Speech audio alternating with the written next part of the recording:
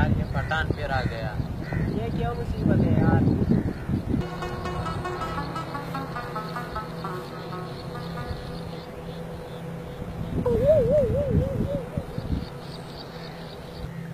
यार कल हमारे घर में फ़ंक्शन है।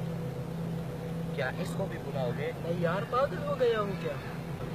यार क्या फ़ंक्शन खराब करना है क्या?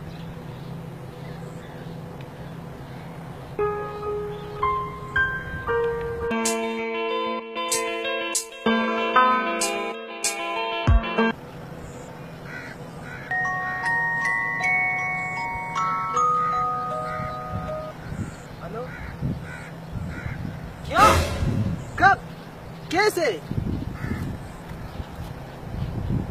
क्यों क्या हुआ? यार अब तुम छोड़ो तंग मत करो यार। क्या हुआ? यार मेरे भाई का एक्सीडेंट हुआ है उसको खून की बहुत सख्त ज़रूरत है। हमारा घर ग्रुप मुझसे है। तो मैं क्या करूँ? यार तुम उससे खून नहीं दोगे पागल हो गए क्या? मैं उसको वो मेरा क्या लगता है जाओ अपना काम करो। तुम्हारा भाई इधर है खून क्या किडनी भी देगा?